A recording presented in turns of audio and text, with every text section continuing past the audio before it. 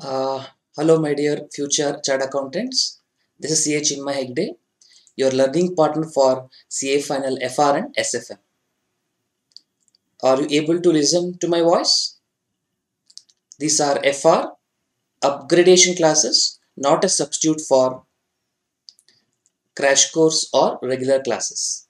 Objective of this session is to solve the problems, questions which are added by the institute in the new study material, RTP, MTP and previous year question papers. The material for these questions are available in my telegram channel at CH in. Link is available in the description. Make sure you download the material to understand and attend these sessions. So with that, let's make a beginning. so we were doing uh, financial instruments. We have done with uh, uh, Ind 32. Uh, now let us do Ind AS 109 where classification, recognition and uh, derecognition, hedge accounting, those elements are considered. Uh, audible but image is not clear. Uh, is the image better now? Because uh, I'm not able to see any issues here. Uh, it looks okay to me. Is it fine?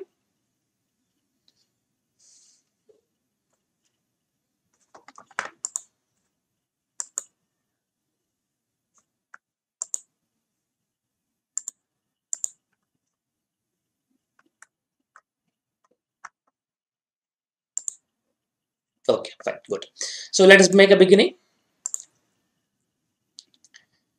Uh, an entity purchased debt instruments for 1 lakh. Instrument pays interest of 6000 annually and has 10 years maturity when purchased. Entity intends to hold the asset to collect contractual cash flows. 6 years have passed, or 10 years were there.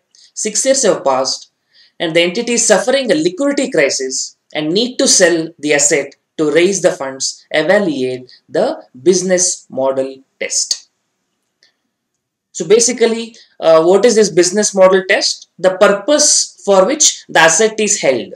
For example, if you talk about debtor management, usually what will happen? You wait till the money is collected from the debtors.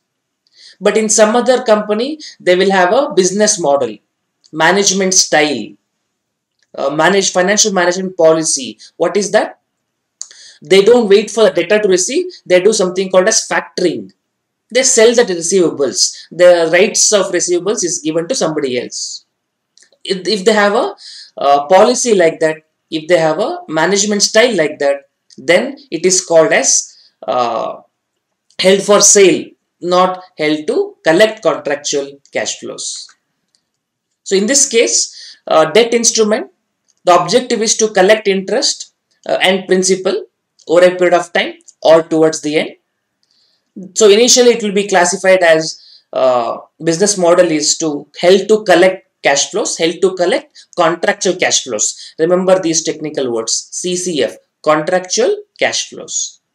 And intention was to help the contract cash flows, uh, the intention was to collect the cash flows till the end till the uh, maturity. But six years later, they are suffering some liquidity crisis. They might sell the asset. Now, debt instruments, uh, sale of financial asset was not expected on initial classification. It was not, position was not there initially, therefore as uh, does not affect the classification and no retrospective reclassification. That is, uh, uh, you have classified as amortized cost, you will continue to do so. You don't change the original position. Having said that, going forward, can I shift this from amortized cost method to uh, FVTPL or FVTOCI? You can. That uh, is permitted. Uh, once you classify it as a financial asset as amortized cost or FVTPL or FVTOCI, subsequently upon uh, changes in circumstances, you can move it to another variety. But as far as the business model test is concerned, this up to this point in time held to collect contractual cash flows, so classified as amortized cost. We don't change the previous classification, we can change the subsequent classification. Hope you got the point. Let's move further.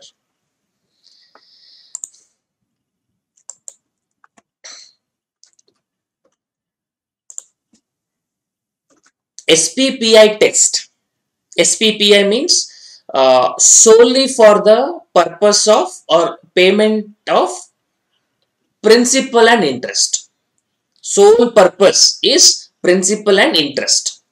For a loan with zero interest and no fixed repayment terms.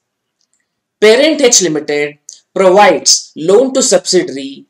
Loan is classified as a current liability in subsidiaries financial statements and has the following terms. So holding company give the loan to subsidiary company, interest free loan, no fixed repayment terms, repayable on demand of our parent limited. Does the loan meet the SPPI contractual cash flow characteristic test? So here comes the picture many people may have this uh, opinion that SPPI solely for the purpose of uh, principal and interest, payment of principal and interest. So is it compulsory? It should include both the elements, principal and interest. For example, in this case, holding company has given a loan to subsidiary company but does not have any interest, does not have any fixed repayment terms, repayable on demand. How do you classify this? Does it satisfy SPPI? The answer is yes. How? Uh, I'll give one more example. Suppose you take a bank overdraft. Uh, it will not have a fixed repayment date. Yes, it will have an interest. So, fixed repayment date is not a necessity.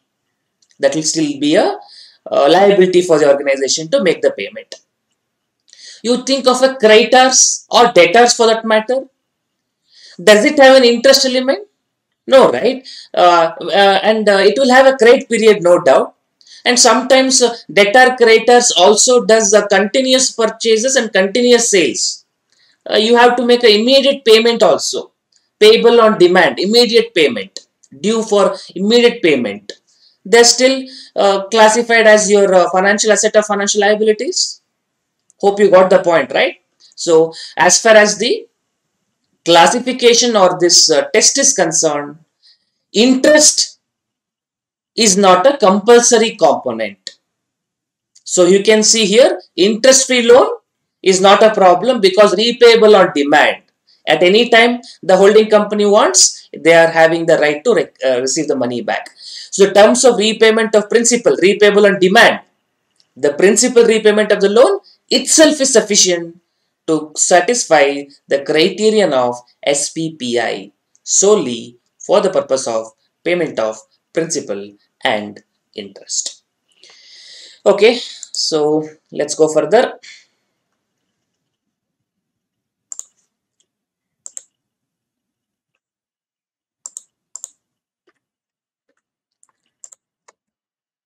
Parent H Limited provides uh, parent H Limited provides a loan of 100 million to subsidiary B. Loan has the following terms. No interest, repayable in 10 years. Does the loan meet the SPPI or contractual cash flow characteristic test? Yes. No interest may be there, but repayable in 10 years. Repayable may be in 10 years. Repayable may be in immediate, repayable on demand. As long as that repayment criteria is satisfied. You don't have to have compulsorily interest component in the cash flow. Repayable in 10 years, the loan amount sufficient. I'll give one more example where interest component is not there directly. Uh, you have lease contract or you have taken a property on rental basis. You give rental deposit initial deposit. On the deposit, will you earn any interest? What is the purpose of giving the deposit? uh, is for I mean, various purposes. You, you're having the property in your hand. And when will you get the, back the deposit? When you vacate the property, when the lease agreement is over, when the occupancy of the property is over.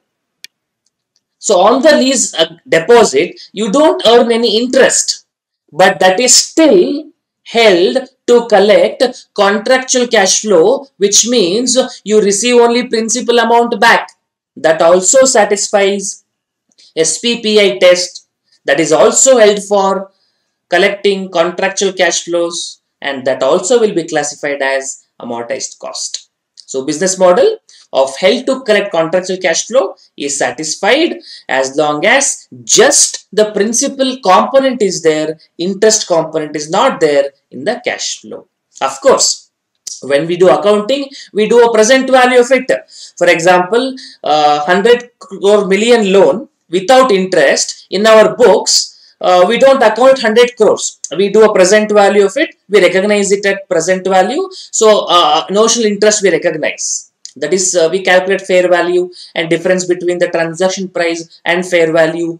We uh, show it as, I mean, in the depends on circumstances, we treat accordingly, either paid immediately or as an asset taken over a period of time. Keep those things aside. The point is, uh, the cash flow, does it have a principal component, interest component? Is the interest component compulsory? The answer is no. Principal component sufficient. Example, this. Another example, lease deposit where you don't earn any interest. You just collect your principal amount back. That itself is sufficient to satisfy the criterion of SPPI. Let's move further.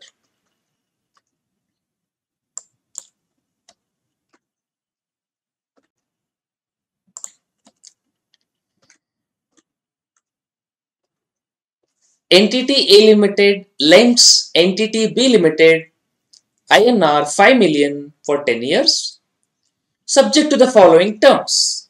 Let's see what the terms are. Interest is based on prevailing variable market interest rate. Variable interest rate is capped at 10%, repayable in 10 years, uh, does the loan meets the SPPI or contractual cash flow characteristic test? So in this case, we have a loan given, we have a rate of interest, we have a repayment maturity period. But problem is payment of interest is variable, that is uh, floating interest rate, variable interest rate, floating interest rate, and that is also maxed at 10%. Is it acceptable? The answer is again yes.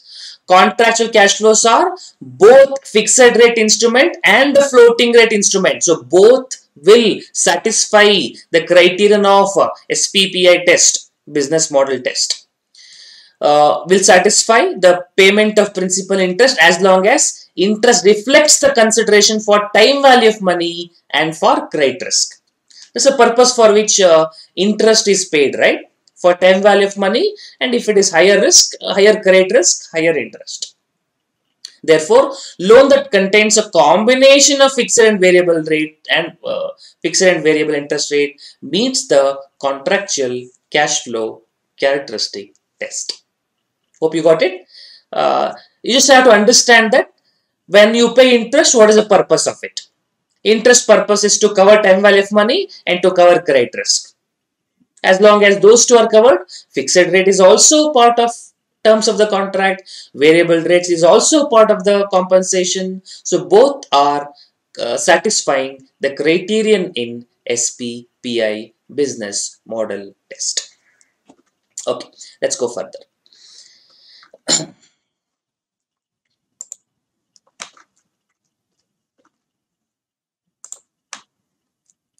H Limited makes a sale of goods to customer on credit of 60 days, customers are entitled to earn a cash discount of 5% per annum if the payment is made before 60 days. Very common, right? Cash discount, you will have a time period of 60 days. Uh, if you pay earlier, you get a cash discount, discount of 5%. And an interest 12% is charged for any payment made after 60 days. If you delay, Beyond 60 days, you will be charged interest. Company does not have policy of selling the debtors. No policy of selling its debtors. I mean, selling debtors means not physically. Uh, the right to receive, that is factoring. They don't have that policy. And holds them to collect contractual cash flows, evaluate financial instrument. Meaning, what category we should be classify this as. Actually, only one line will make everything clear. Held to collect contractual cash flows. When it is held to collect contractual cash flows that is satisfying SPPI test, it will be classified as amortized cost. That's all the straightforward answer. Three methods are there. Amortized cost, FVTPL, FVTOCI. Held for contractual cash flows till the end, that becomes amortized cost. Uh, if it is held for trading purpose, FVTPL, held for contractual cash flows and held for sale, that becomes FVTOCI. In this case, it is held to get contractual cash flows, so it becomes amortized cost. Let's read the answer quickly. In the above case, uh, since uh, H Limited uh, has a contractual right to receive cash flows uh, from the customer and therefore has trade receivables or financial assets. Further, H Limited business model to collect the to collect will satisfy the objective of its holding its trade receivable to collect contractual cash flows till the end of maturity period and such trade receivable recorded in the books represents contractual cash flows are solely payment of principal and interest if paid beyond credit period. Hence, such trade receivables are classified as amortized cost. So, as we discussed only, straightforward answer. Okay, next.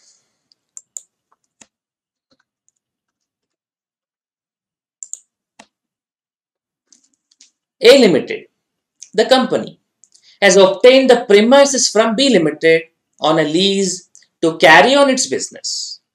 Lease contract period is 5 years. As per the lease agreement, A Limited paid security deposits to B Limited amounting to 10 lakhs which is refundable after expiry of lease agreement. How such deposits are treated in the books of A Limited. In fact, we have discussed this earlier as well. Lease deposits, you give it, security deposit. On that, you don't earn any interest, but that is fine. That still satisfies the criterion of SPPI. And what is when will you get back that money? At the end of lease period on the maturity in the form of cash receivable. So it's a cash receivable, it's a financial asset. It is held till maturity, held to collect contractual cash flows. So it satisfies SPPI test. So it will be classified as amortized cost. And that's what they say. Uh, business model is to uh, collect the contractual cash flows till the end. Please use these terms in examination. Uh, is to collect contractual cash flows till the end. Okay. So you should always write about two points. One, why it is a financial asset. And second, what is the nature of financial asset. So first of all, it is receivable in cash. You are having the right to receive cash flows. Upon the maturity period, you get back the deposit in cash. So because you have the right to receive the cash flow, that is Ind AS 32, definition of financial asset satisfied, therefore it is a financial asset. Then in financial asset, which category it belongs to? It is held to collect contractual cash flows, therefore it is classified as at amortized cost. Okay, so first you talk about whether it is a financial asset or not. Then, if it is a financial asset, what is the classification of financial asset based on the condition it satisfies. Hope you got it.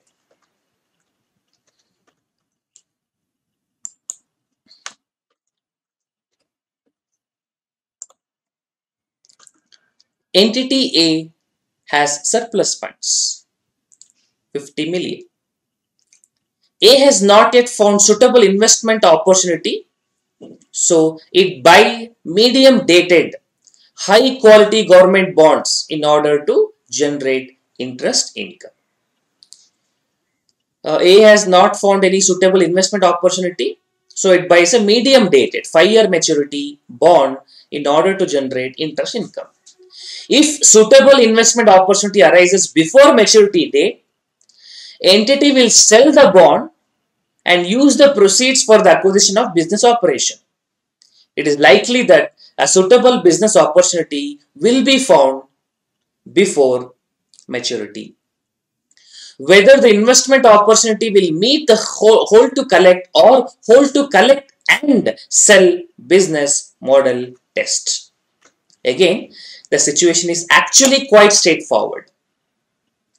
If your expectation is to remain invested, held to collect contractual cash flows, all installments, all principal, all interest till the maturity, then that is called as uh, SPPI test, held to collect contractual cash flows. In fact, uh, in SFM we use the term YTM, yield to maturity. Only if you remain till maturity, you get that yield. If you sell in between, then that YTM, you don't realize it. Now, in this situation, what is happening? You are investing in a five-year bond, but your intention is not to remain till the end. The intention matters. The purpose matters. The management style matters. Business model matters. Practice matters. Financial management policies matters. Hope you understand. Okay. Uh, you are invested for a five-year period but looking at the facts given in the case, you may not remain invested till the end of five years. If an opportunity comes, if a suitable investment opportunity arises, entity will sell the bonds. So you are receiving the interest payment till you are having the bond, but if an opportunity comes, you sell this bond and go for that investment opportunity. So it is not held to collect contractual cash flows. It is held to collect and sell the business and sell the financial asset. So it is likely that such investment would meet the hold to collect and sell business model test. And in this case, typically they have not asked the classification, but if they ask, it will be classified as FVT OCI, fair value through OCI. Because if it is held to collect contractual cash flows, it becomes amortized cost. If it is solely for the purpose of sale, held for trading purpose, that becomes FVTPL. It is held to collect and sell, then it becomes FVTOCI, in between basically. Got the point, right? Amortized cost, you wait till maturity. FVTPL, you are holding for sale purpose. So one is till maturity, one for sale. In between, you are having plans of both. That's when it becomes FVT OCI. Okay, next.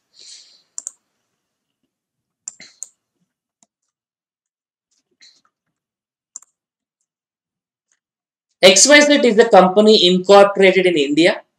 It provides 10 lakh interest-free loan to wholly owned Indian subsidiary, there are no transaction cost. Interest-free loan. Holding company to subsidiary company.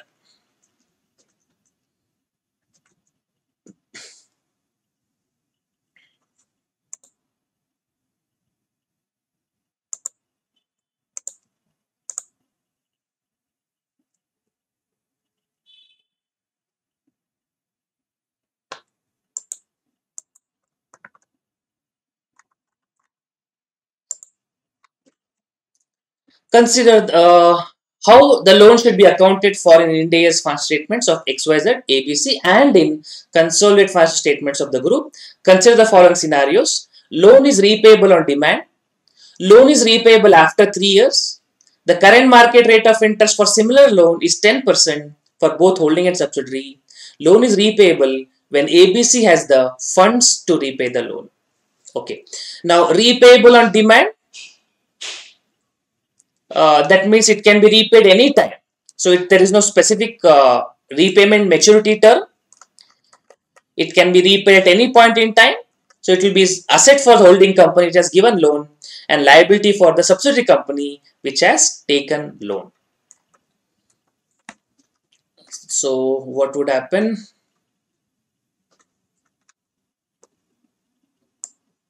I'll just put what our institute has given as the solution.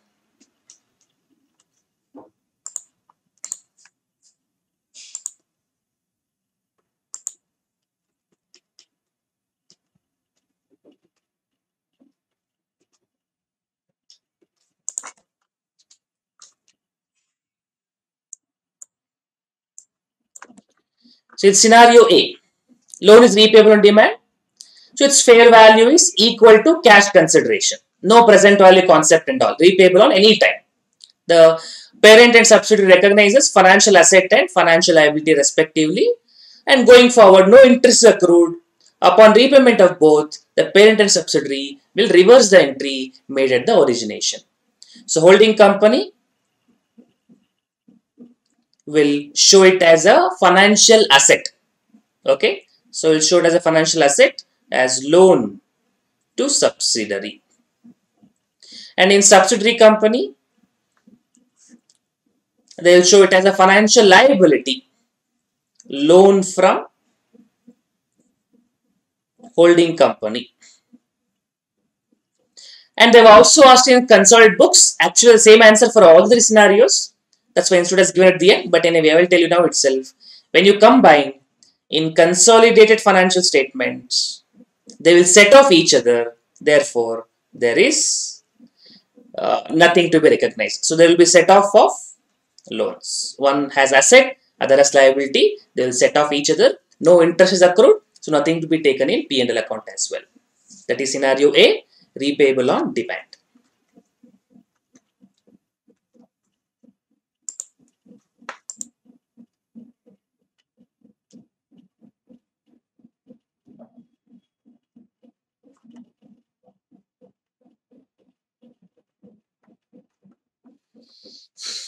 Second scenario, uh, loan is repayable after 3 years. Current market rate of interest for similar loan is 10% for both holding and subsidiary. Okay. Uh, now, if you see, there is a difference between transaction price and fair value. Because you have given a loan of 10 lakh, holding company has given a loan of 10 lakh to subsidiary without interest. You will collect back after 3 years. But if it was given at somebody else, if somebody else or had you given the loan to somebody but not for subsidiary, would you would you have given the loan at uh, 0% interest rate? No, you would have given the loan at 10% interest rate. Then what is the fair value of the loan? Is it 10 lakh? The fair value of the loan is not 10 lakh. 10 lakh is the transaction price. What is the fair value? You take a present value of 10 lakh, that becomes the fair value. Because the if you give a same contractual cash flow. If you tell somebody, I need 10 lakh after 3 years, how much you would have given them today? Because you want to earn 10% interest, you would have given the present value of 10 lakh discounted at 10% for 3 years. That is the amount today you would have given to somebody else. That would be called as fair value. Now, difference between transaction price 10 lakh and the fair value, what you computed. Let me show the calculation, what institute has done, and then let me give you the treatment.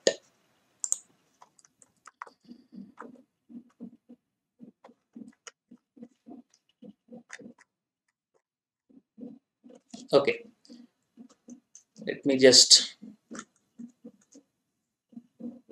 go for scenario 2, scenario B.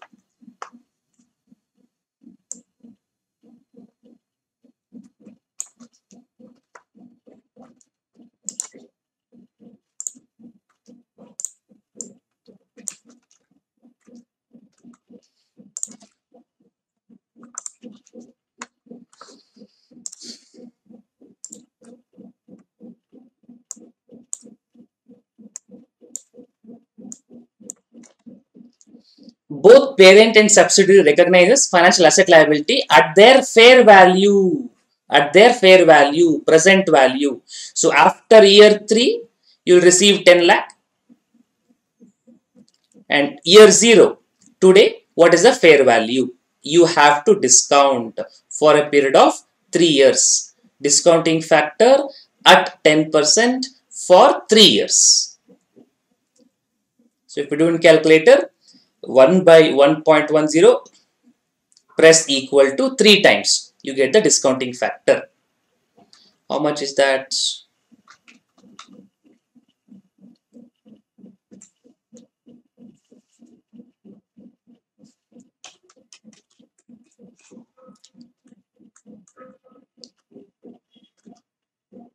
Point seven five one three one five right 0.751315 so what will be the present value or fair value equals uh, 10 lakh into 0.715315 7 lakh 51315 this is the present value. This is the fair value which both entity will account it as asset and liability. So holding company will recognize this as financial asset at 75315 and subsidiary company will account it as financial liability at 751315 okay but what will happen to the difference from 10 lakh? But because cash flow taking place 10 lakh right? See for example holding company you write uh, to bank 10 lakh but debit financial asset loan given 7 lakh 51 still balance is there. So difference between the transaction price which is 10 lakh minus fair value which is 7 lakh 51 315 this difference how it is to be treated? Difference what do you get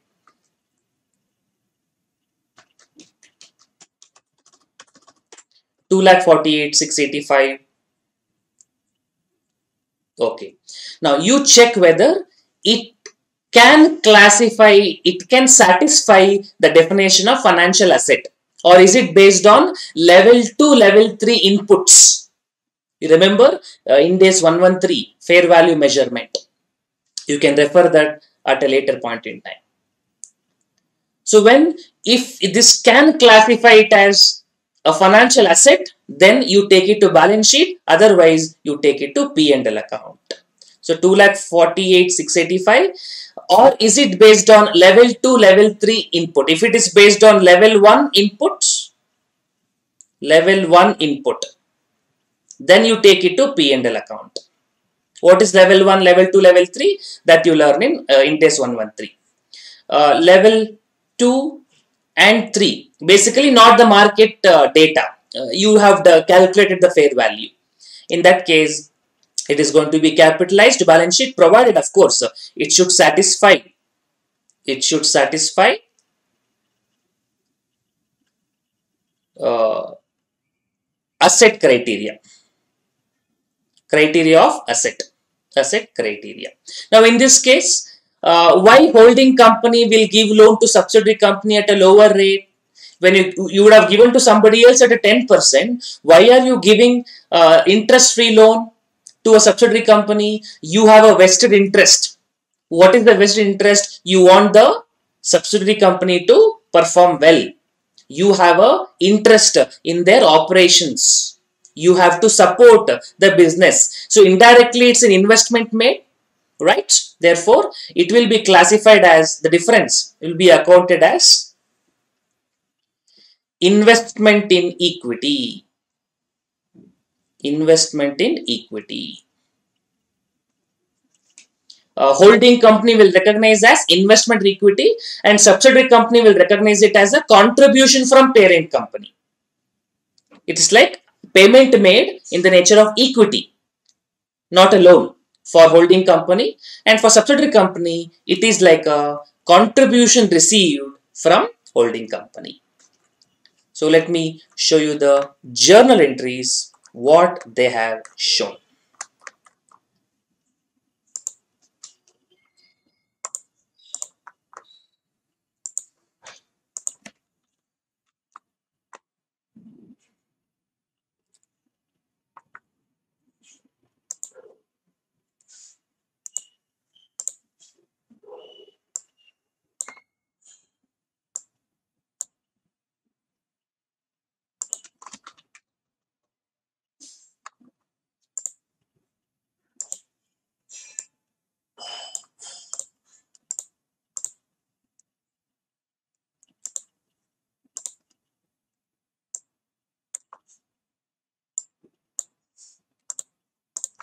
Okay, so let me show the entries directly.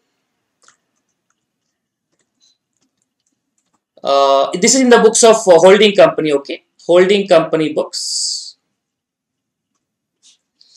Uh, what entry you pass? Loan to subsidiary, 7,51,315. I should do the calculation.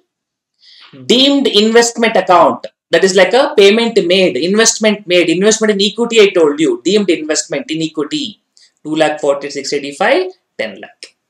This is satisfy the definition of an asset. Otherwise, this would have taken to P&L account. Then second year, on the 7 lakh 51315, you recognize the notional interest at the rate of 10%. Uh, that is 10% on 7 lakh 51315 and this will be at amortized cost okay remember this will be at amortized cost held to collect contractual cash flows. So will be classified as amortized cost. On that you recognize interest.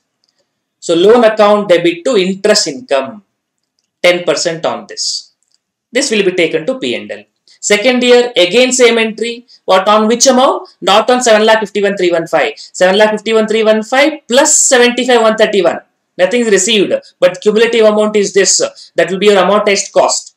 Compound interest you can say so 7,51,315 plus 75 131 on that you apply 10 percent you get 82 645 then uh, similar entry will be for third year uh, 7,51,315 plus 75 131 plus 82 645 on the 10 percent or last year you can do a balancing figure because some round off will be there so that it exactly comes to 10 lakh.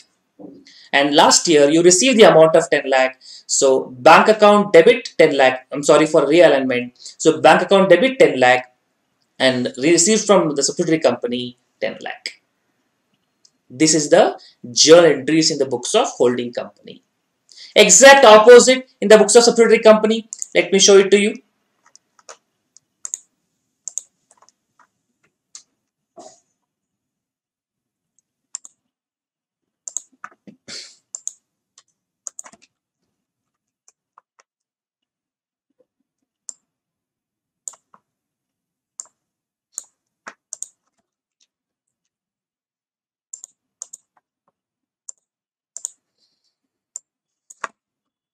Okay, so let me show it in the books of subsidiary company.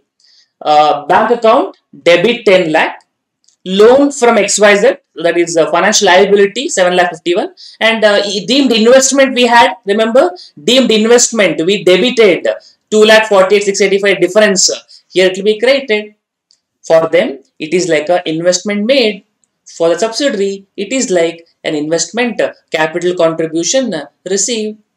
Then uh, we have recognized the deemed interest income, notional interest income in the books of holding company, opposite interest expense.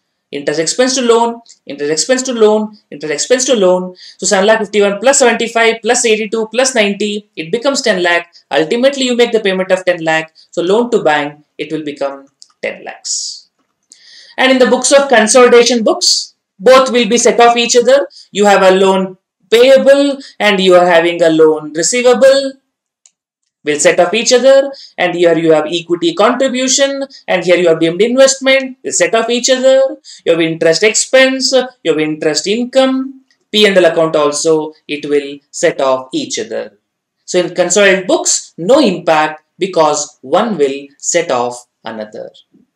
But keep it in mind uh, it will set off each other because both are in the same currency but if it is in different currency on consolidation, foreign exchange difference would still come there. Anyway, not relevant here, but keep that point in mind. Uh, in case of the holding company, subsidiary company is in different countries, different currencies, the asset and liability will get set off, no doubt, but the exchange difference in the P&L account will remain. Keep this point in mind uh, it will be helpful for you when you see the problems in uh, foreign exchange. Okay, so that is scenario 2. Let's look at scenario 3. Loan is repayable when ABC has funds to repay the loan. Oh, that is a very interest situation. No interest rate. No maturity period. Whenever you have money, give it to me. Uh, what would you tell in these situations? Okay. So let me tell you what institute has shown and accordingly we can understand.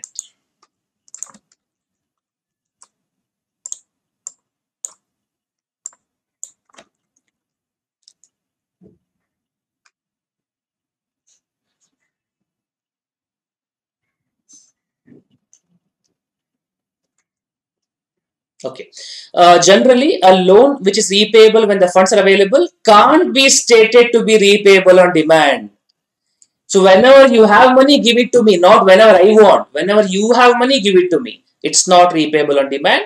Rather, entities need to estimate the repayment date. That is, you cannot keep the solution as it is. You do some form of estimation, some form of uh, judgment is required. You make an estimation date based on the facts and circumstances, based on the position of the organization, based on the business of the subsidiary, based on the intention, make some estimate and determine the measurement accordingly and then you are going to apply. The loan is expected to be repaid in 3 years, it is remeasured in the same as scenario B or repayable after 1 year based on your estimate, then calculate the values accordingly. So when repayable, based on when the fund is available, you have to say the answer. Uh, this is not repayable on demand. Some estimation is required and based on the estimation, accounting treatment to be given accordingly. So like that you can present. So these are the three scenarios of this problem. Okay, let me go further.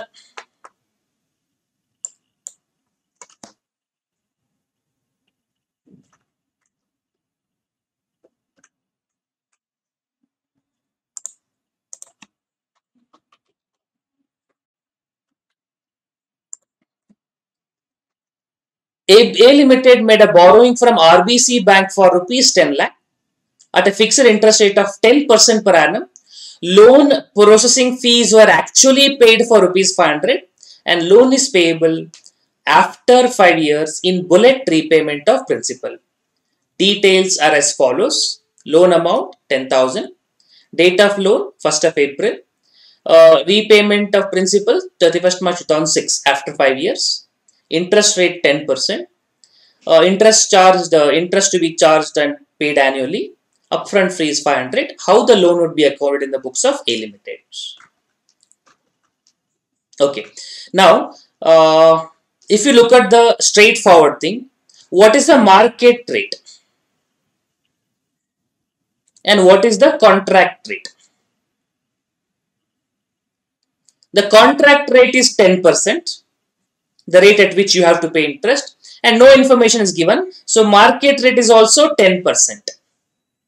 So you can say that the transaction fair value and transaction price both will be equal at 10,000. Both are equal. It makes no difference. But what is this upfront processing fees, upfront fees, processing charges that is not taken to P&L account okay? So let me show a little bit of mathematics here and let me show the uh, impact of this. We would have discussed this in earlier basic problems but still I would like to show you the impact. Okay.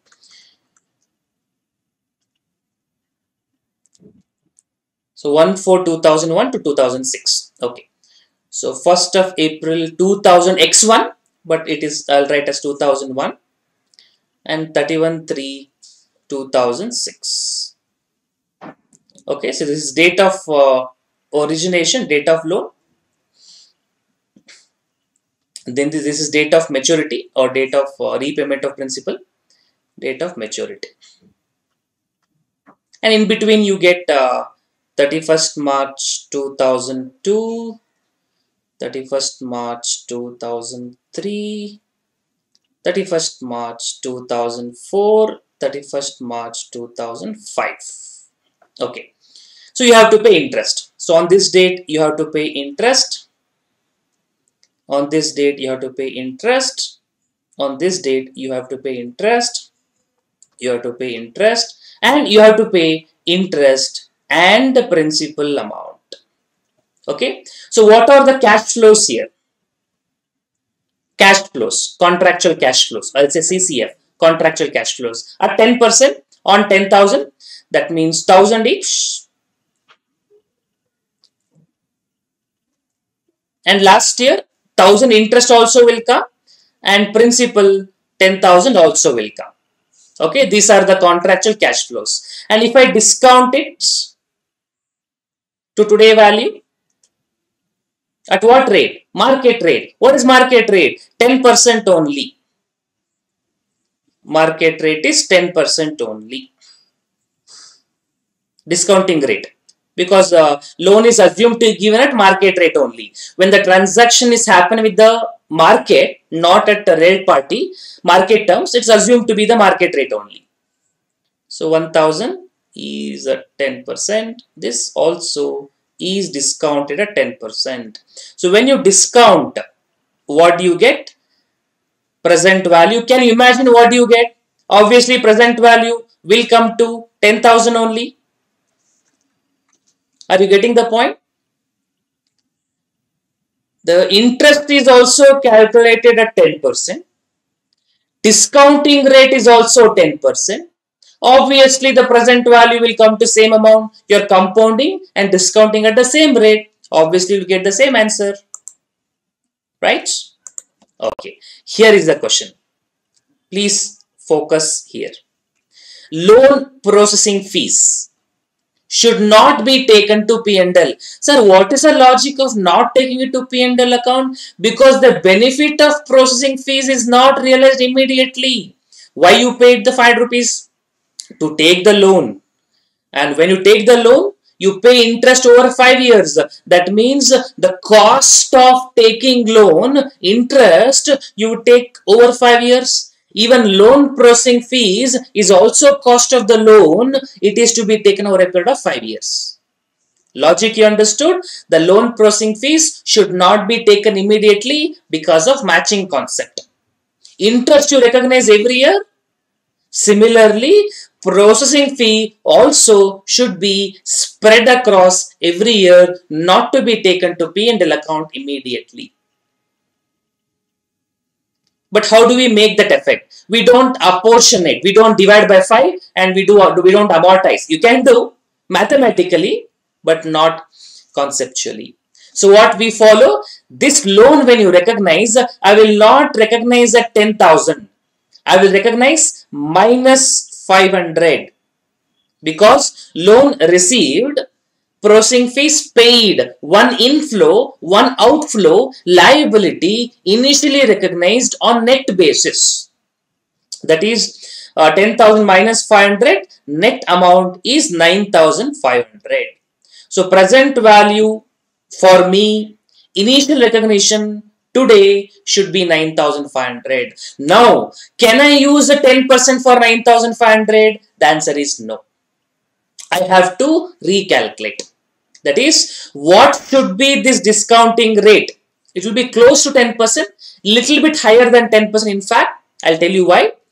Uh, what should be the discounting rate such that the present value will come to 9500 and that is called as effective interest rate. So that is nothing but IRR you can say or uh, uh, whatever whatever the YTM you can say different name. Effective interest rate. That is, what is the discounting rate? Such a way that the discounting of contractual cash flows will give rise to the present value of 9500 so when you discount the thousand the thousand the thousand the contractual cash flow uh, and 11,000 for last year. So when you discount this or 1,000 uh, interest and 10,000 uh, principal, when you discount it, the present value should come to 9,500. What should be the discounting rate? Okay. Uh, usually they will give it in the that in the problem in exam itself. You don't have to calculate that. It's more of an SFM concept. I think in this problem, uh, we are expected to calculate that also. So we have to show you the uh, interest calculations. Okay. So what we should do now here is we should follow interpolation method. What is interpolation method? Very simple. I'll show it to you. Please observe.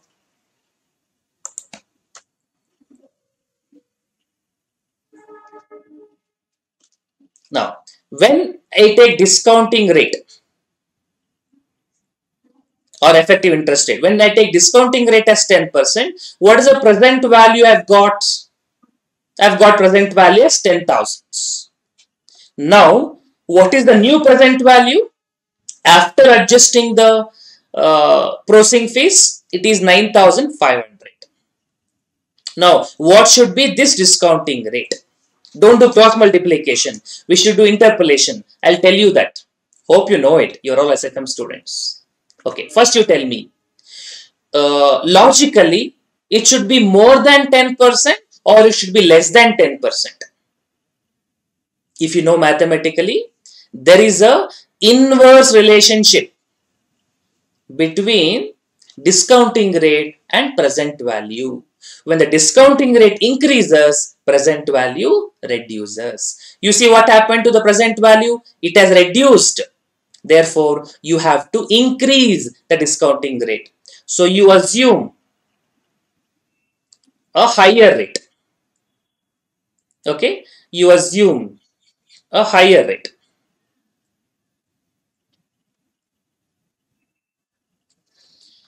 Uh, what shall we assume? Institute has taken actually uh, some 13%. Okay, uh, let's assume 12%. Uh, I'm just making an assumption. Thirteen percent. Okay, let me assume institute only. Uh, assume higher rate 13%. You can assume 12 also, 13 also, 15 also. Uh, more closer, the answer will be more accurate. That's all. So you can assume anything. In fact, if you do Excel sheet, it will be more faster. Let's assume 13% randomly. Now what will happen to the present value? How do you calculate present value? Uh, cash flow, uh, you get year 1, year 2, year 3, year 4, year 5. Uh, cash flow first year 1000, second year 1000, third year 1000, fourth year 1000, fifth year 10,000 plus 1000, 11,000. Uh, discounting factor at the rate of 13 percent. Uh, instead has taken three decimals, let me also take three decimals. You get uh, 0.885, 1 by 1.13, 0.783, 0.693, 0.613, 0.543. Uh, please calculate what will be discounted cash flow. Uh, if you multiply it is 885 783 693 613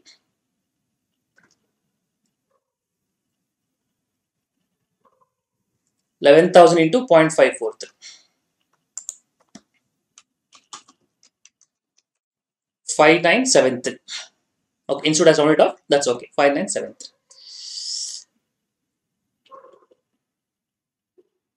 And if I do the total,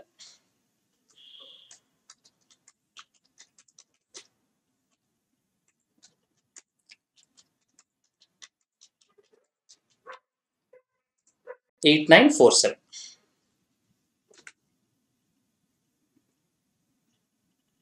Okay, so when you assume thirteen percent, what is the present value you got? 8947.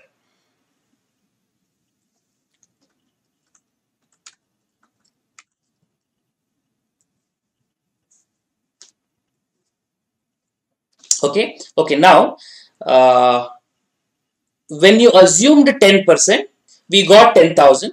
When you assume 13%, you got 8947. But we want 9,500. So the answer is between 10,000 and 8947. So answer should be between 10% and 30, 13% because we're trying to find out a value between the two numbers and that is called as interpolation method, interpolation between something. So you see from 10% to 13%, what is the movement? The movement is 3%. Correct? From 10,000 to 8947. What is the moment?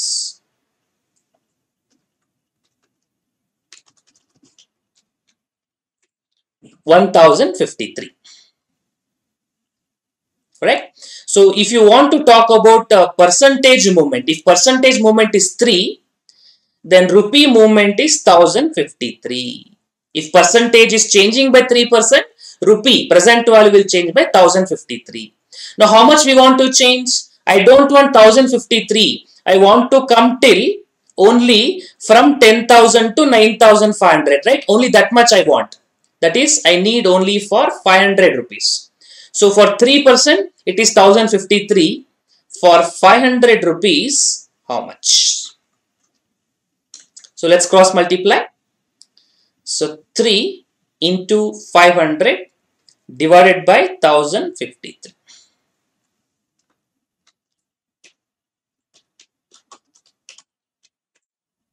One point four two four. Let's say one point four two. Okay, so from 10%, the movement is 1.42. So effective interest rate, EIR, is starting from 10 plus 1.42 and that is 11.42%. Effective interest rate is 11.42%. Okay, now can you think mathematically why 10% interest has become 11.42%. What would be the logic behind this? Mathematically, we have seen this, but what is the uh, concept behind this? There is always a two explanation to a calculation. One, mathematical uh, explanation, other logical explanation. What is the logical side of this? Why 10% has become 11.42? What does it 1.42 represent? That represent the processing fee charges 500 rupees was there. The 10% represented interest.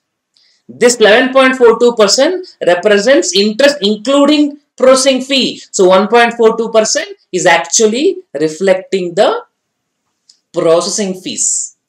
That is what is being recognized in the P&L account and how it will be shown uh, uh, institute has given the table i'll just show it to you as it is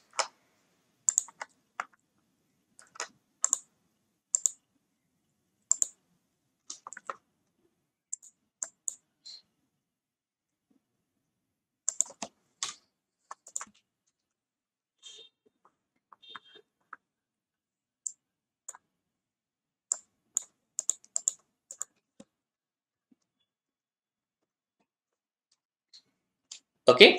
So opening balance will be 9500. Why 9500 opening balance? We will take uh, 10,000 loan taken minus uh, 500 uh, processing fees. So 9500. On that, what interest you charge? Effective interest 11.42% uh, effective interest EIR. I'll just use the short form. Hope you understand. EIR.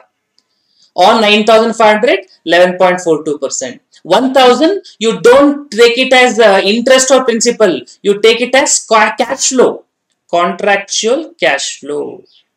Contractual cash flow. 1000 you pay. Interest principal does not matter. So 9500 plus 1085 minus 1000 becomes 9585 that becomes opening for next year.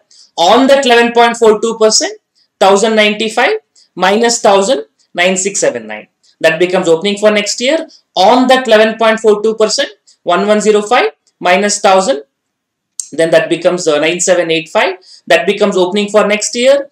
On that 11.42 percent 114117 minus 1000 becomes 9902 last year you can do 11.42 percent or you know you will pay 11000 it has to become zero. So you do this like a balancing figure 11000 minus 9902 1098 balancing figure anyway uh, that's how the amortized cost.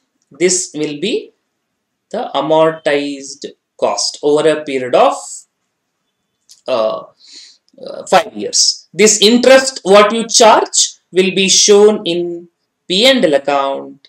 The closing balance what you're showing will be reflected in balance sheet. The repayment part is reflected in cash flow statement. Isn't it? These three are the parts of financial statements p&l cash flow statement and balance sheet. Okay do one more thing for me. Uh, i'll take all this part out.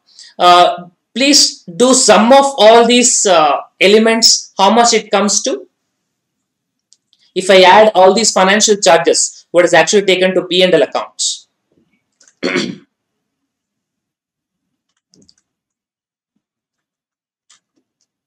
1085 plus 1095 plus 1105 plus 1117 plus 1098. 5500, right? 5500. This is the effective interest. And now tell me, had you not considered the processing fees, how much interest would have taken every year? Or would have taken 1000, 1000, 1000, 1000, 1000 every year? That is what this number 11,000, 1000, 1000, 1000, 5000, right? Had you taken without processing fees 1000 1000 1000 every year that's how you are getting 5000 versus 5500 the 500 actually difference representing the loan processing fees. So like 1.42% is there. That is what is reflecting this extra 500 which is loan processing fees I hope you're able to make some sense out of it. In fact, if you want to understand a little bit more clearly, uh, what interest we have recognized now. Just put it in next page. What every year, five years, if I write it, year one, two, three, four, five. What is the interest recognized now under 11.42%? What we recognized? 1085, 1095, 1105, 1117 and 1098. Okay, had you followed interest at 10%, how much would have charged 1000 each?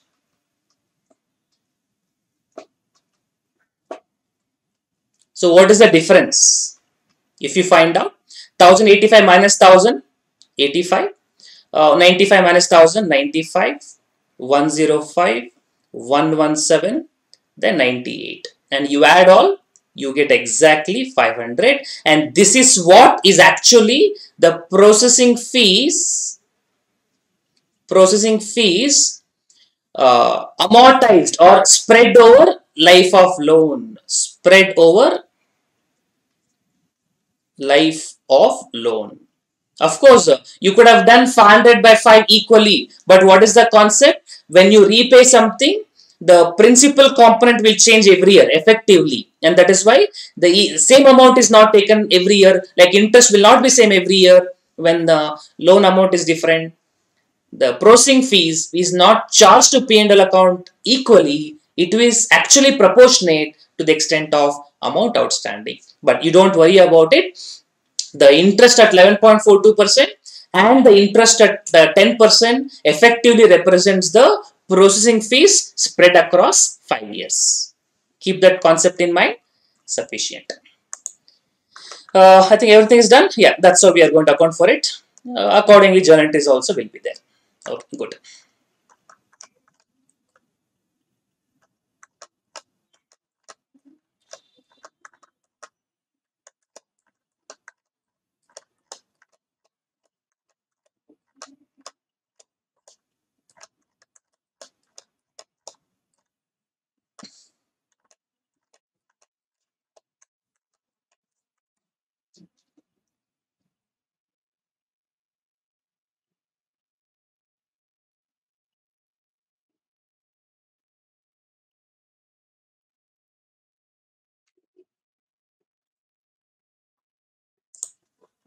Okay, hope you understood. Any questions you want to ask on this?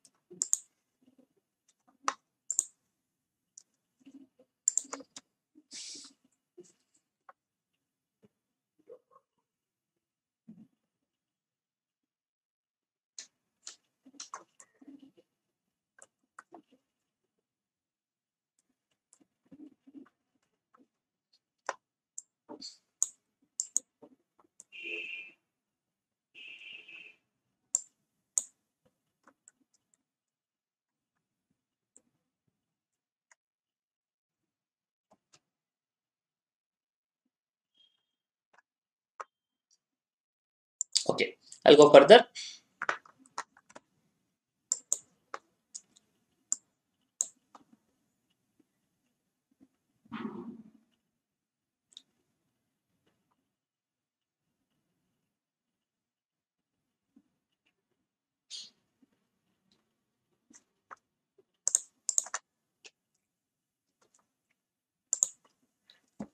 So next one.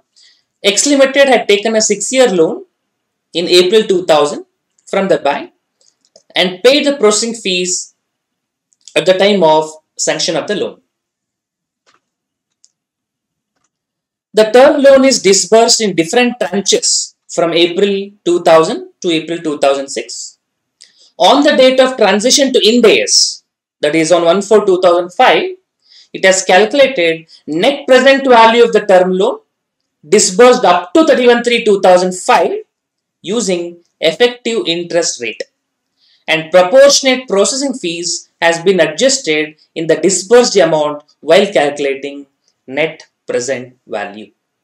What will be the accounting treatment of processing fees belonging to undisbursed term loan amount?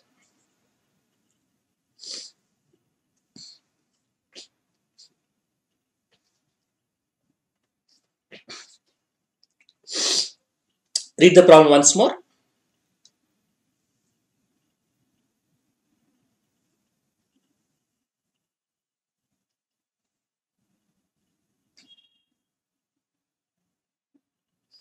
Okay, let me show you the facts of the case once more in a presentation slightly differently.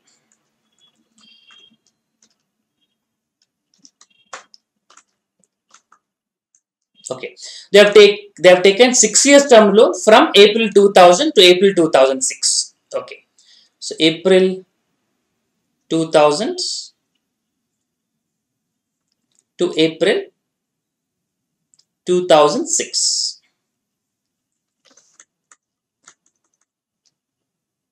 Okay, uh, paid the processing fees at the time of sanction of the loan. Okay, on April 4 April 2000 only processing fee is paid.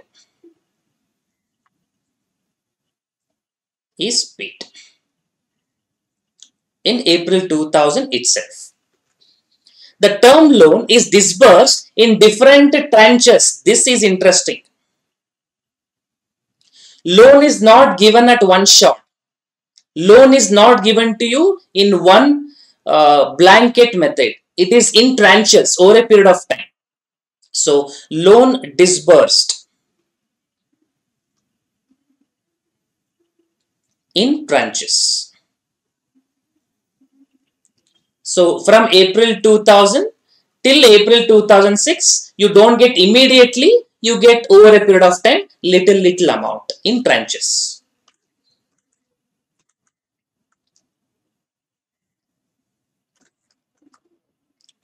Uh, on the date of transition on Ind AS 1-4-2005.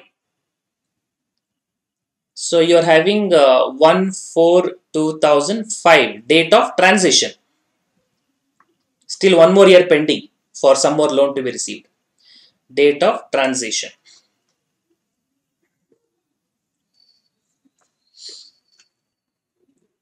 It has calculated the net present value of loan disbursed up to 31-3-2005 using effective interest rate. What is effective interest rate?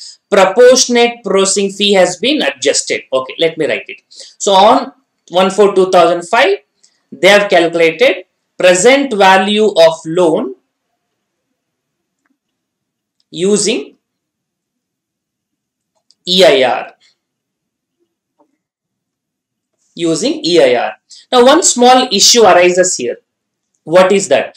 The processing fee is paid fully, but loan is not disbursed fully. Entire loan is not taken today. Some more loan has to be taken, right? Because some loan has been disbursed and some loan is pending, yet to be disbursed. Understanding the point? Processing fee is paid fully but the loan amount is not taken fully.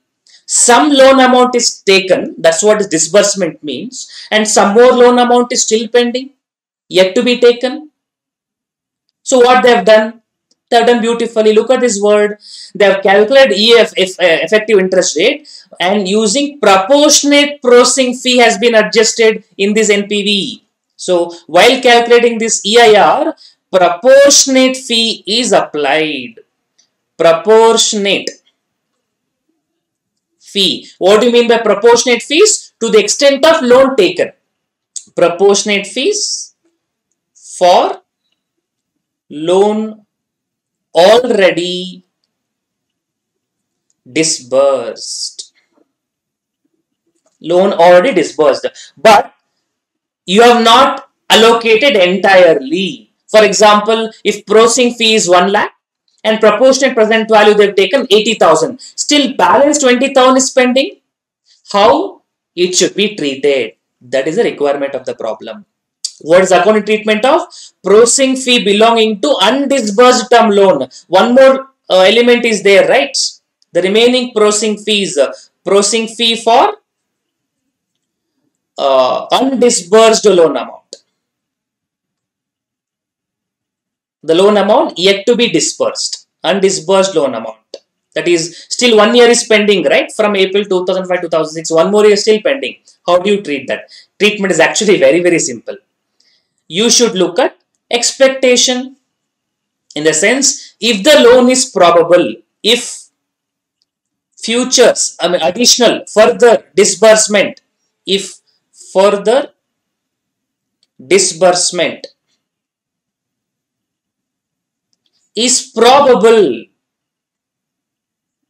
then adjust in effective interest rate, adjust in uh, such effective interest rate, adjust in such, I mean future, when you take the loan, effective interest rate. If further disbursement not possible, if further disbursement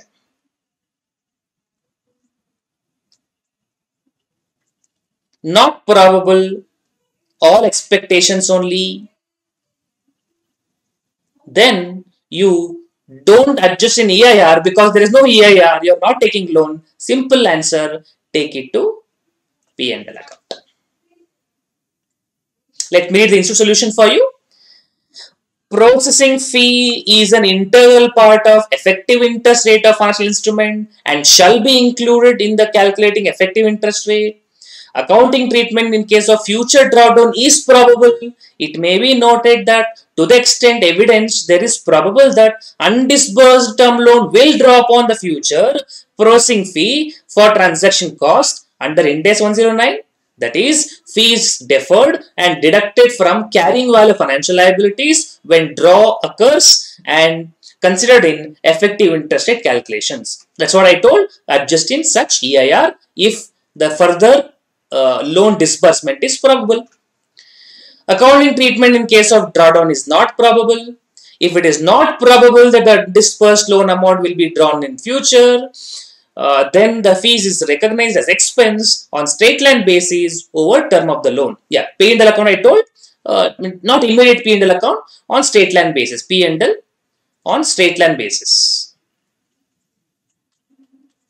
If disbursement is not probable, take it on proportionate basis on uh, loan basis because uh, it means the loan processing fees for remaining loan indirectly. So, you straight line basis uh, proportionately take it to the P&L account. Okay, hope you got it.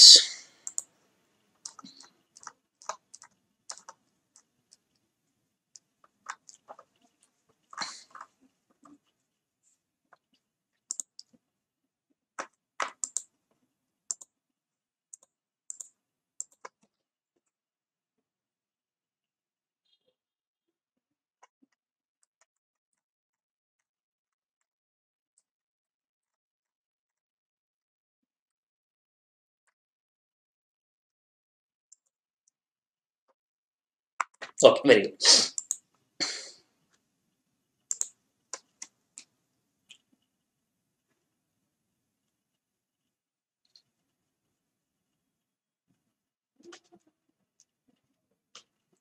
Next.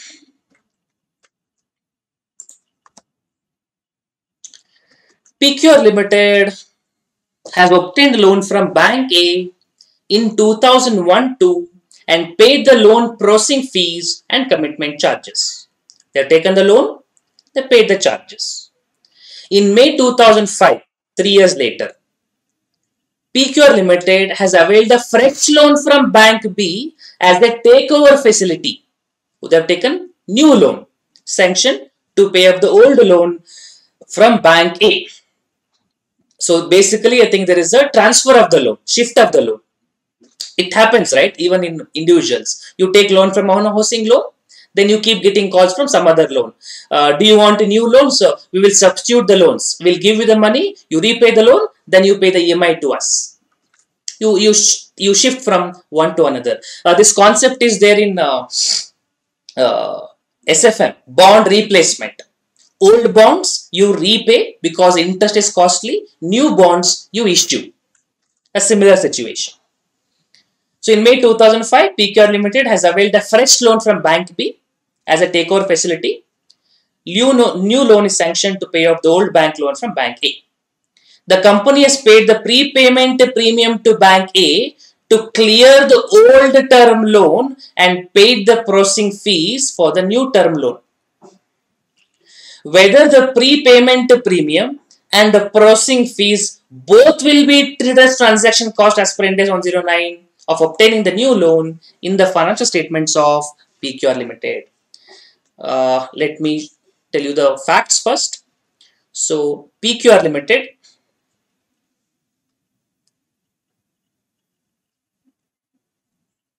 okay so they have taken loan loan from bank A this is in 2001 2 and in 2005 in May 2005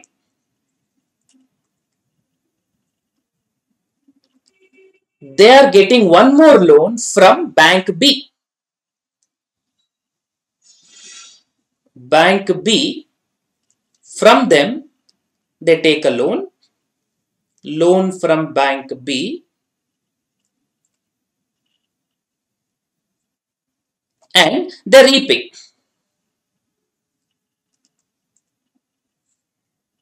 They repay.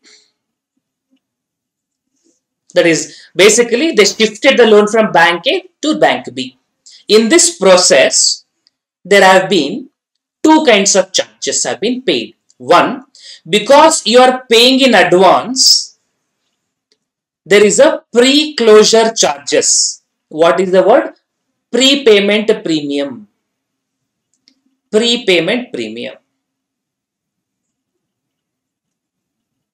Prepayment premium. Paid. Naturally right? Uh, uh, the, if you see the bank loan also housing loan also will always have a pre-closure charges. That's interesting. First of all we have seen great stalwarts don't pay the loan at all and they're taking a foreign travel and all without paying any interest, without paying any principal and running away. We people not only paying the loan, we are paying the loan in advance before even the mature date comes. Isn't it they should be grateful to us? Not like that. The survival of the bank depends on interest they collect from loan and interest is always relevant connected with time value of money. So they were expecting that they can collect from you interest income over a period of so many years, uh, the term of the loan. But since you closed the loan amount prematurely, their calculations have gone wrong in the sense their expectation of earning interest income now not going to happen because you repaid the loan. So their future cash flow is affected.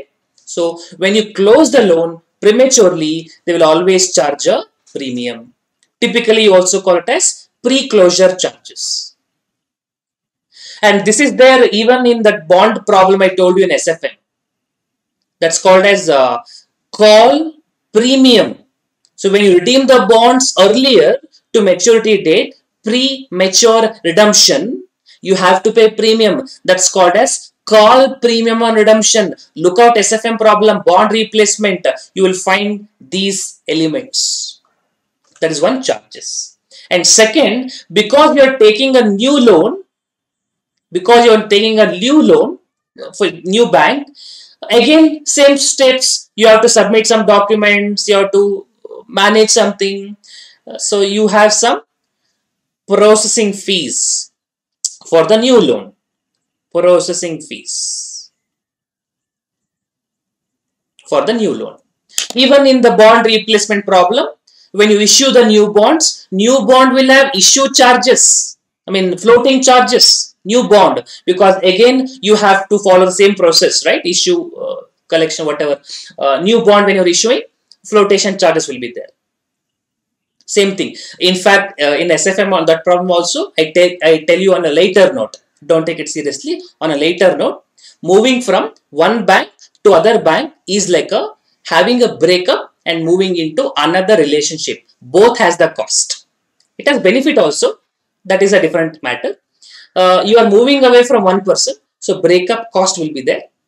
You are moving into new relationship. Again, when you want to form a new relationship, again, lot of cost will be there. That's what we say. A processing fee in the new loan and pre-payment premium in the old loan. Now the question is, uh, are both of them called as processing fees? Is the question. Let me read what Institute has told you and uh, accordingly we'll make sense out of it.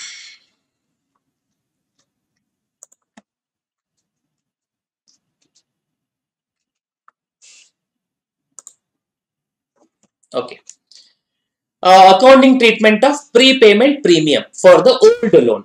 So this is for the existing loan.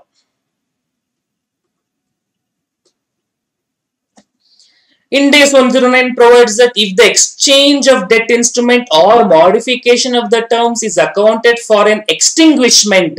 What is extinguishment? Closure. Extinguishment, closure of one loan extinguishment.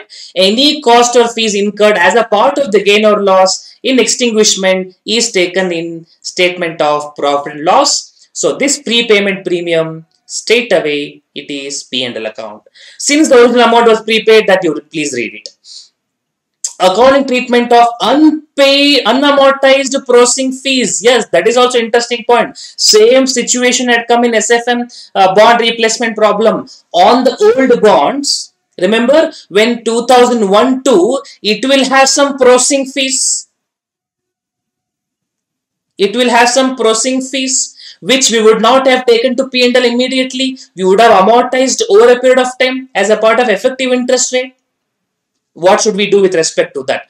Unamortized processing fees relating to the old loan will also be required to be charged to statement of profit and loss immediately. That will automatically taken care uh, when you close the loan amount by making the payment. So when you close loan amount, automatically the processing fee also will be taken care. Okay, new processing fee, processing fee of the new loan. Transaction costs are incremental cost that are attributable to the acquisition, issue or disposal of a financial asset or liability. Incremental cost means what? If this cost was not there, I would not have able to get the asset or liability. Here also, if processing fees I would not have paid, I would not have got the loan. So it is an incremental cost attributable to obtaining the loan. That is a transaction cost. Uh, it is assumed that the loan processing fees solely relate to origination of new loan. Obviously, how can else? What else we can assume?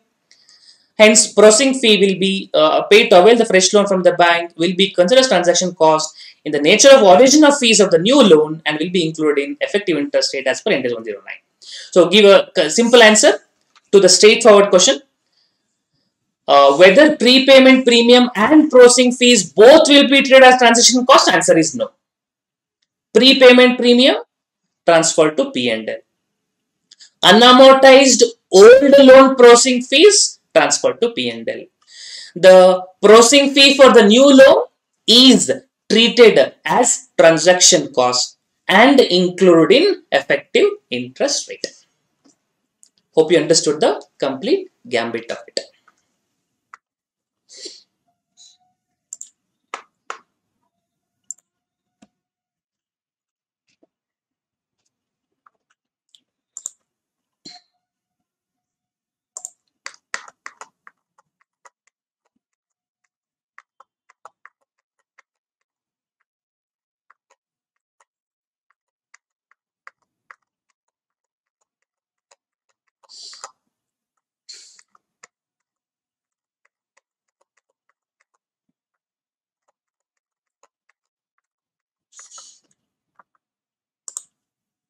Okay, I'll go further.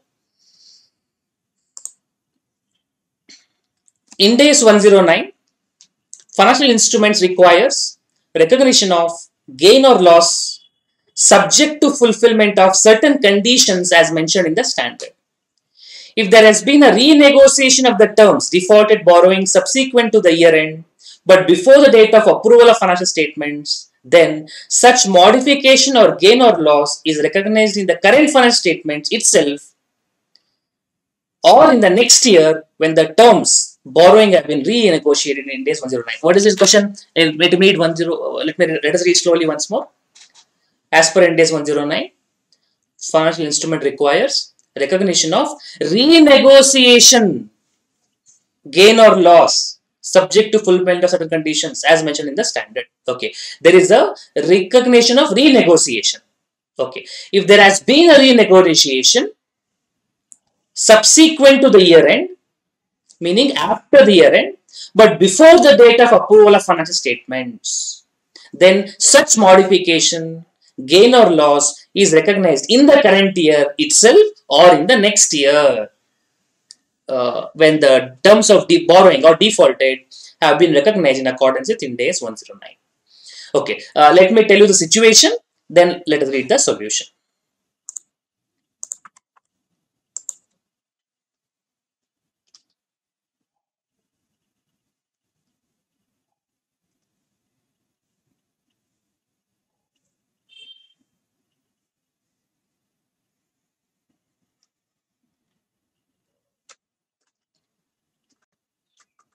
Okay. Uh, let us take uh, year end as 31 3 2021 and during the year let's say there is one loan outstanding there is one borrowing year end 31st march. And date of approval let's take it as 31st of may 31st of May 2021 let's say there is date of approval of balance sheet. Data setting the balance sheet. And in between that let's say on 30th of April there is a renegotiation. This borrowing there is a renegotiation The question is this.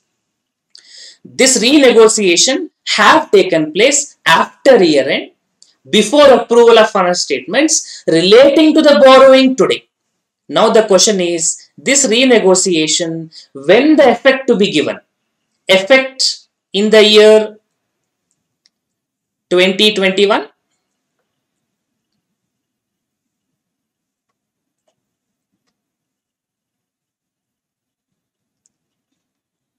or effect in the year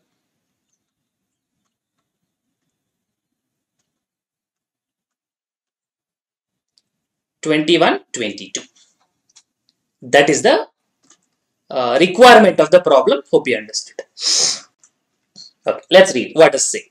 As per the paragraph uh, Ind AS uh, whatever of 109, for instruments have been contractual cash flows of financial instrument recognized or otherwise modified and renegotiation or modification does not result in derecognition of a financial asset in accordance with this standard an entity shall recalculate gross carrying amount of the financial asset shall recognize a modification or gain in the profit and loss. So basically, whenever there is a renegotiation, it means uh, don't derecognize if there is a renegotiation, don't close the loan.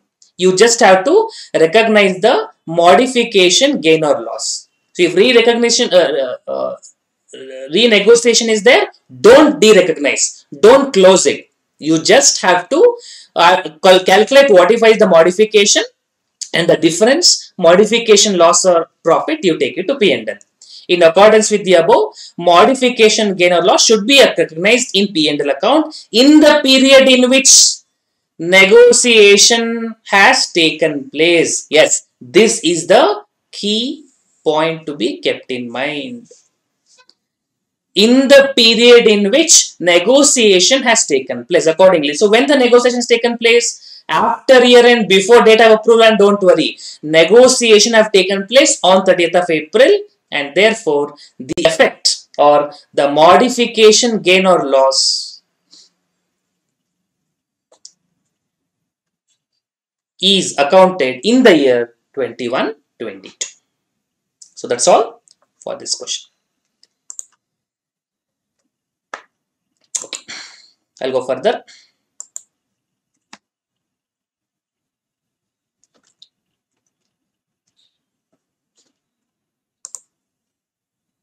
Next.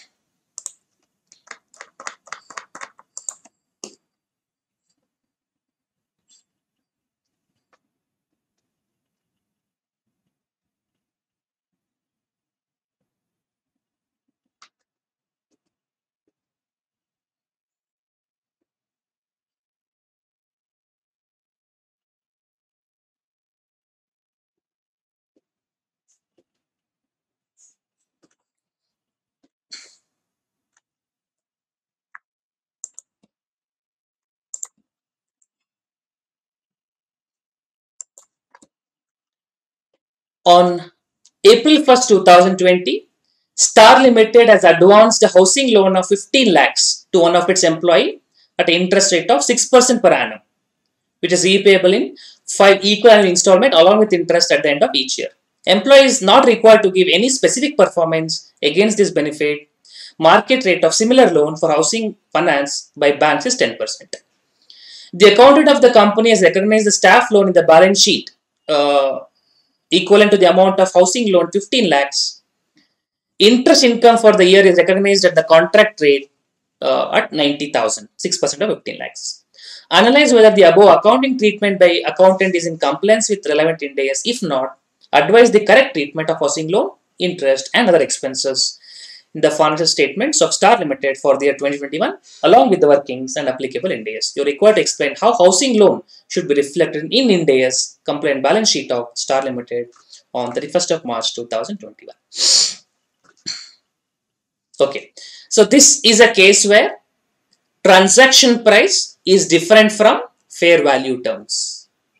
Taking back to Ind AS 109, we assume transaction price equal to fair value when the transaction happens at market terms. But here transaction is not happening with market terms because you're transacting with related party who are your employees. Uh, market rate for similar loan is 10% where you are giving the loan at 6% not at market terms fair value will be different transaction price will be different so 6% is there only for contractual cash flows. 10% will be considered as discounting rate. Similar what we have done in compound financial instrument. Remember convertible bonds coupon is our cash flow. Non-convertible bonds uh, coupon will be the discounting rate because that is the rate expected by people who do not have the conversion option. Similarly, 6% interest rate what is uh, offered uh, to the employee will be cash flow, contractual cash flow. And to compute the present value, to compute the fair value, we need discounting rate and that will be based on market rate that is uh, 10%. That present value you take, compare with 15 lakh loan, the difference amount will be not shown as financial asset. So let me show you the calculation what institute has done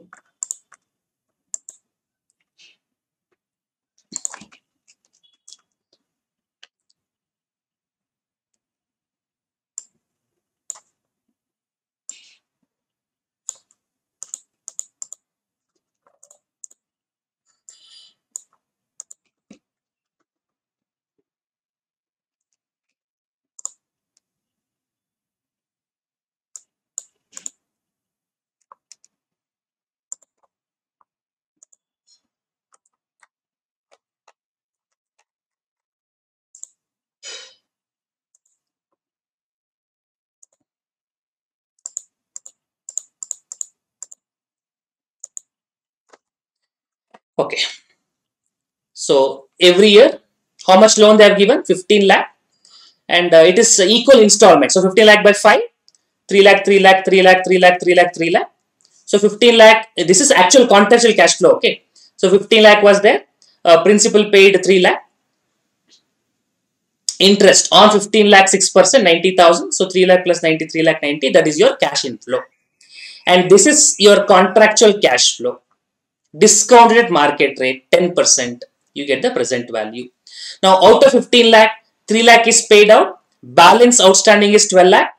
On that 12 lakh, you apply 6%, you get 72,000. So 3 lakh principal, 72 interest, 3 lakh 72 is the cash flow discounted. Similarly, from 12 lakh, if you repay 3 lakh, balance 9 lakh, on 9 lakh, you get 54, 3 lakh 54. Then on 9 lakh minus 3 lakh, you get 6 lakh. On that 6 lakh, you get 6%, that is 6,000. And 6 lakh minus 3 lakh, 3 lakh. And 3 lakh is paid out. And 3 lakh plus 18,000, 3 lakh 18,000, 6% on 3 lakh.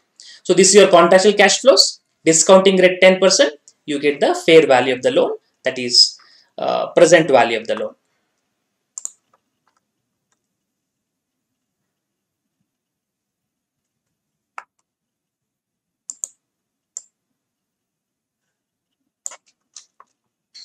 And what will happen to difference? Uh, loan amount is uh, 15 lakh, but uh, fair value is 13 lakh 54. So what will happen to the difference? Uh, the difference will be treated as prepaid employee cost because uh, this loan is given provided is your employee. Of course, he don't have to do any specific condition for us. He don't have to perform any specific activity for us for this loan uh, he is don't have any responsibility particularly but it is assumed right? Only if employee remains this loan is given to him. If employee goes out automatically he has to repay the loan. Normally exceptions can be there. So uh, as long as employee is there this loan will be existing. So this will be treated as employee cost uh, to be amortized over a period of the uh, loan term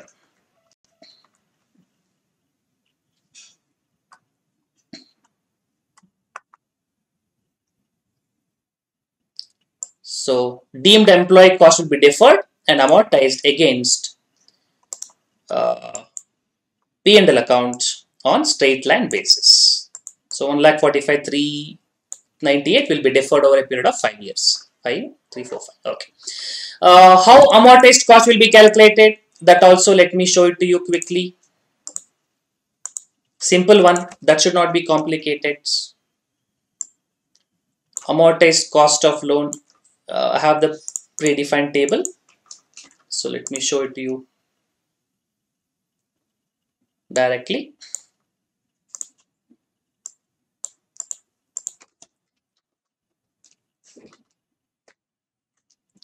So first year, uh, 31st March 2021, amortized cost. Opening balance is this one, 13,54,602.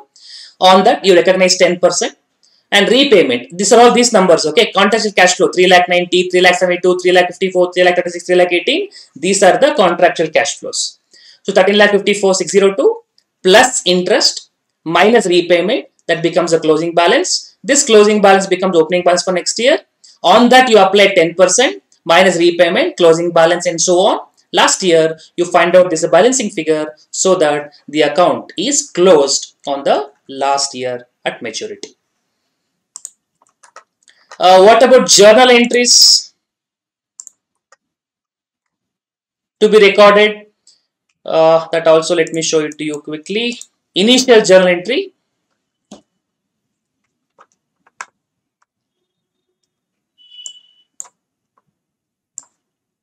Initial journal entry. Uh, loan account 13 lakh 54,602. The initial amount, the fair value amount the difference, 1 lakh 45 398, I told you prepaid employee cost to bank 15 lakh. And first year journal entry also I'll discuss.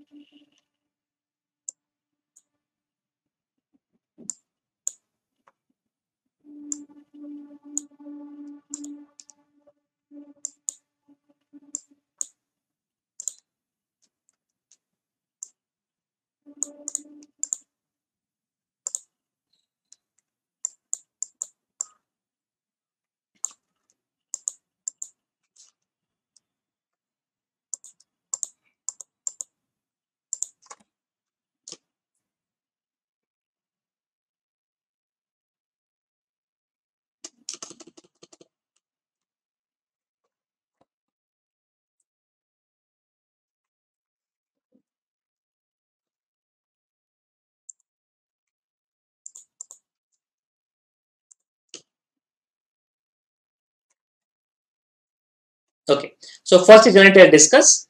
Uh, they you receive first installment. What is first installment you receive? Three lakh ninety thousand, which includes interest of one lakh thirty five four sixty, right?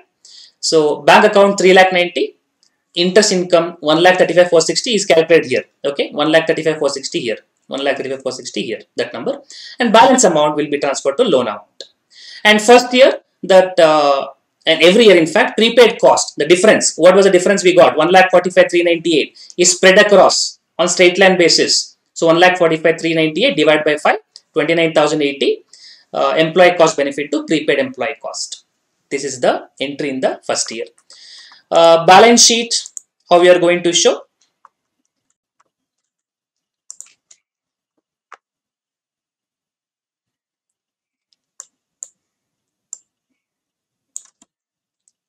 Uh, balance sheet uh, loan amount balance. What is the loan amount balance? Uh, 11 lakh 62 this is the amortized cost but we want to show it as two things right? Current asset and uh, non-current asset. We want to show it separately. Therefore uh, uh, this 8 lakh 38,068 which is beyond one year because it's from next year onwards. So 8 lakh 3868 this is non-current assets. And difference between these two 11 lakh minus 8 lakh 38 or you can also do uh, in 3 lakh 72 if I subtract 1 lakh 10 you get some 2 lakh something. The difference that is what is under current assets.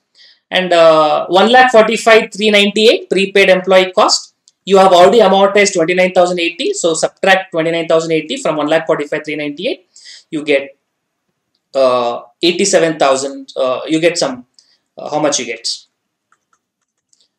1 lakh 45 398 minus 29080 1 lakh 16318 but out of that uh, 29080 comes in the immediate next year.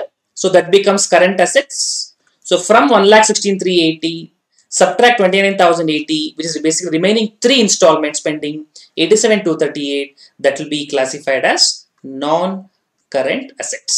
In the exam, uh, you don't have to show these things and all, what is reflected in balance sheet, unless of course they've asked, in this problem they've asked how it's reported in the balance sheet. So you have to report how much current, how much non-current. Okay, so hope you got this also.